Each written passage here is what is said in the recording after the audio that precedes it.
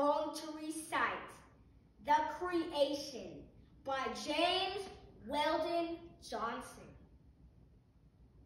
And God stepped out on space.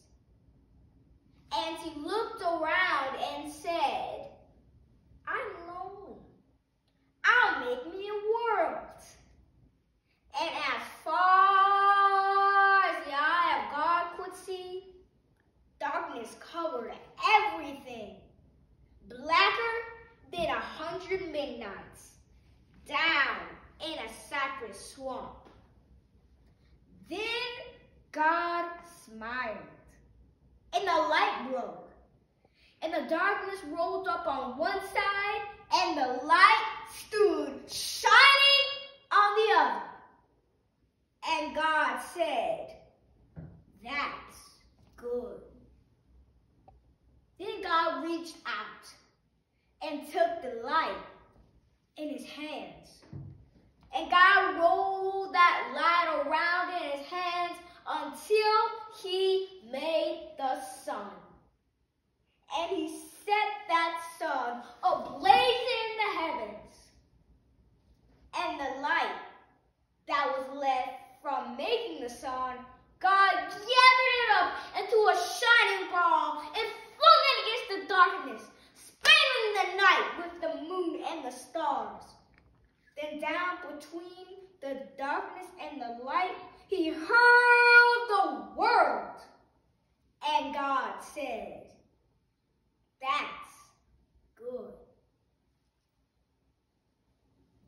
Then God himself stepped down. And the sun was on his right hand, and the moon was on his left. The stars were clustered about his head, and the earth was under his feet. And God walked. And where he walked, his footsteps hollowed the valleys out and bulged the mountains up. Then he stopped and he looked and saw that the earth was hot and barren. So God stepped over to the edge of the world and he spat out the seven seas. He batted his eyes and the lightning flashed. He clapped his hands and the thunders rolled. And the waters above the earth came down. The cooling waters came down. Then the green grass sprouted and the little red flowers blossomed. The pine tree pointed his finger to the sky, and the oak tree spread out his arms. The lakes cuddled down in the hollows of the ground, and the rivers ran down to the sea.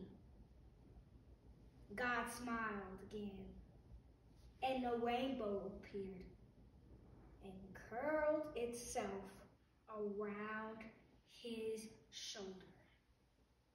Then God raised his arm and he waved his hand over the sea and over the land, and he said, Bring forth! Bring forth! And quicker than God could drop his hand. Fishes and fowls and beasts and birds swam the rivers and the seas, roamed the forest and the woods, and split the air with their wings. And God said, That's good. Then looked around, and God looked around on all that he had made. He looked at his sun, and he looked at his moon, and he looked at his little stars.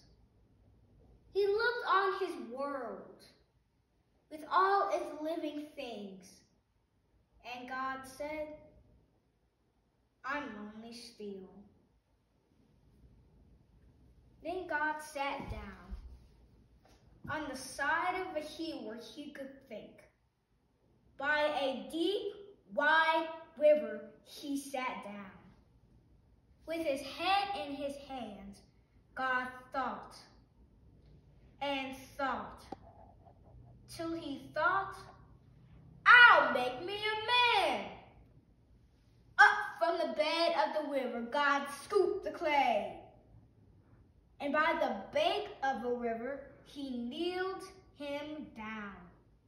And there, the great God Almighty, who lit the sun and fixed it in the sky, who flung the stars to the farmer's corner of the night, who rounded the earth in the middle of his hand, this great God, like a mother, bending over her baby, kneeled down in dust, toiling over a lump of clay till he shaped it in his own image.